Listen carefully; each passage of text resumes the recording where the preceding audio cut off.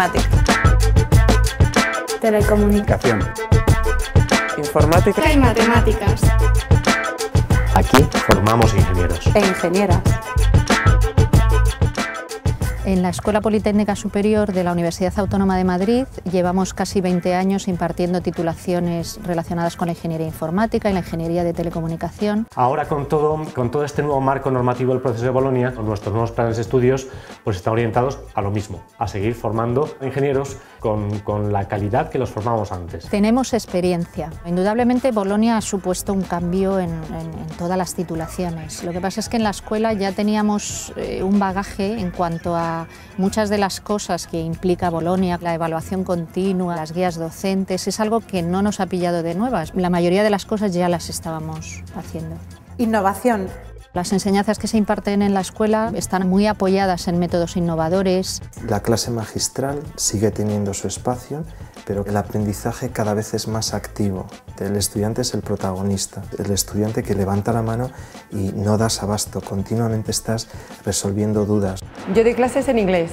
SQL. SQL is the Structured Query Language. Desde hace algunos años estamos impartiendo asignaturas en inglés. Damos al alumno la opción de o cursar en castellano cursar en inglés la misma asignatura. Además de estar aprendiendo las asignaturas de nuestros grados, pues están practicando inglés, están aprendiendo vocabulario muy técnico en inglés. If not, the record is not going to be included. Moodle es una página web donde el profesor cuelga información adicional sobre la asignatura. También los estudiantes envían información al profesor, las prácticas, los trabajos y también permite hacer exámenes, exámenes en los laboratorios de la escuela, incluso desde casa. Formación integral. En la escuela entendemos que las prácticas son una parte integral de la docencia. Y desde el principio la intención y el objetivo ha sido eh, dotar de un gran contenido práctico a, a todas las asignaturas. Prácticamente todas eh, tienen grupos de prácticas, se va al laboratorio, se va, porque bueno, creemos que es fundamental en la formación del estudiante. Yo creo que en las otras universidades no hacen tanto hincapié en las prácticas y la verdad es que es la forma de aprender. Yo creo que no es solo teoría, sino hay que practicar, porque luego cuando entras en la empresa lo que de verdad te piden es que sepas hacer las cosas, no que te conozcas la teoría. De hecho, yo con las prácticas aprendo más que en la clase de teoría. Al dar la práctica tienes una visión más global ¿no? de, de, la asignatura, la llegas a entender, así que te ayuda mucho a, a que te guste más la asignatura y a, y a llevarla mejor. 20 estudiantes por laboratorio. En la parte teórica tenemos a todos los alumnos juntos, pero en las prácticas los dividimos en grupos de 15, 20. Y hay algunas asignaturas que tienen lugar casi exclusivamente en el laboratorio. Quizá lo que más me llamó la atención cuando llegué allí fue la infraestructura, el despliegue de, de, medios que había, la cantidad de equipos, de PCs, de puestos. De aulas de docencia, de laboratorios eh, prácticos, de laboratorios de investigación, de biblioteca. Creo que cuenta con unas buenas instalaciones y que los alumnos eso lo valoran muy positivamente. Hay bastantes laboratorios que no me esperaba. Son súper amplios, súper accesibles. Siempre hay algún laboratorio con ordenadores libres. Tienes eh, un montón de equipos, eh, cada uno para lo suyo. Bien, la biblioteca es genial, tienes todos los programas que necesitas, además bien de bibliografía, todos los libros que necesitas están ahí. No tienes que comprarte ningún libro. Te dejan portátiles, o sea, puedes, o sea, puedes tener un portátil durante un día entero. Todo alrededor son facilidades para que el alumno que quiere de verdad estudiar y formarse lo haga, lo haga y lo haga bien. Proximidad estudiante-profesor.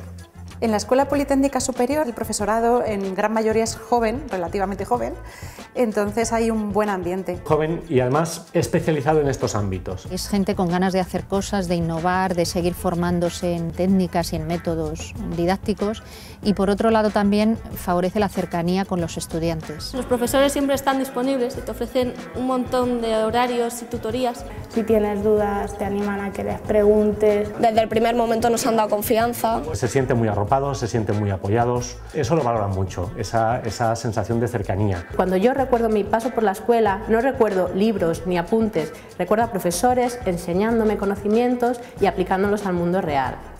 Cada estudiante dispone desde el primer día de clase de una persona que le va a ayudar a resolver o a encaminar los problemas que se le presenten. Esta persona es su tutor. Que no le controla, no está detrás de él, no conoce su expediente, no. Lo que está es para que el estudiante no esté perdido. Yo estudié en la Escuela Politécnica Superior de la Autónoma y ahora trabajo en Indra. En el último año de, de, carrera te dan la posibilidad de hacer prácticas en empresa y luego tuve la suerte de quedarme. Las prácticas en empresa están incluidas dentro del plan de estudios. Llevamos mucho tiempo trabajando con el programa de prácticas en empresa. Eso nos ha permitido que el tipo de empresas que participan en él sea, sea muy variado, sea muy amplio.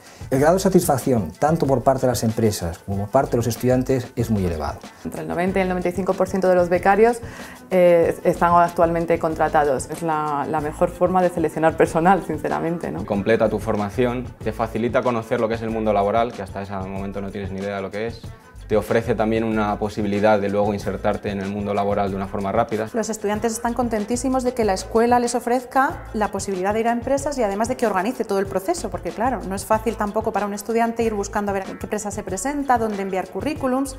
Desde hace un par de años también ofertamos la posibilidad de que el alumno realice sus prácticas en empresas radicadas en el extranjero. Yo realicé mis prácticas en Google. Una vez finalizado el grado, los estudiantes de la escuela tienen la posibilidad de continuar sus estudios en el programa de máster y doctorado de la escuela que cuenta con la mención de calidad del Ministerio de Educación. Yo hice el máster en esta escuela, dado que el profesorado en, en estos eh, cursos se involucra mucho con el alumno y eh, muestran en qué líneas de investigación eh, se encuentran trabajando. Entablamos eh, contacto con el grupo de neurocomputación biológica para tratar de materializar e integrar sus ideas en una nariz artificial. Investigadores de la Universidad Autónoma de Madrid han diseñado la nariz artificial más pequeña del mundo. En la Escuela Politécnica Superior tenemos líneas de investigación reconocidas internacionalmente que han dado como resultado tecnologías que se utilizan en todo el mundo. Somos punteros en investigación. Por ejemplo, tenemos proyectos de robótica. Yo soy estudiante de Ingeniería de Telecomunicación. Actualmente desarrollo el proyecto de fin de carrera en colaboración con el HCT Lab, en el que estoy haciendo una mano robótica para representar la lengua de signos. Tenemos también herramientas que permiten controlar un ordenador simplemente moviendo las pupilas o haciendo guiños con los ojos. Estamos trabajando en el ámbito de los interfaces gestuales y eh, en la misma línea que por ejemplo la Xbox 360 con su proyecto natal. Eh, el objetivo es intentar interactuar con un ordenador a través de gestos hechos con la mano al aire. Aquí también hacemos en el laboratorio pues, detección de los objetos que nos interesen dentro de un vídeo. Una de las aplicaciones que es bastante interesante consiste en la detección de objetos abandonados en estaciones de metro, aeropuertos. El objetivo último de esto es la visión artificial. En este laboratorio nos dedicamos a estudiar la casa del futuro. Podemos eh, hablar con ella, nos enciende la luz, eh, eh, nos riega las plantas, se pueden controlar mediante los dispositivos móviles, las mesas ya son pantallas también en las que puedes trabajar. ¿Odisea? Sí. Poner aire acondicionado. ¿A qué temperatura quieres poner el aire acondicionado? A 22 grados. De nada. La Escuela Politécnica tiene una larga historia de colaboración con investigadores de multitud de países y también nosotros formamos investigadores que acaban trabajando en universidades de Estados Unidos, Europa y Asia. Yo estudié en la Escuela Politécnica Superior de la Autónoma y ahora trabajo en MIT. Today's Massachusetts Institute of Technology is a Siguiendo mi obsesión ¿no? de, de dedicarme a la ciencia, pues empecé el doctorado, tuve la oportunidad eh, de irme a MIT a investigar y bueno, pues aquí estoy, ¿no? Muy contento de estar quizás en el mejor centro de investigación del mundo. Recompensa.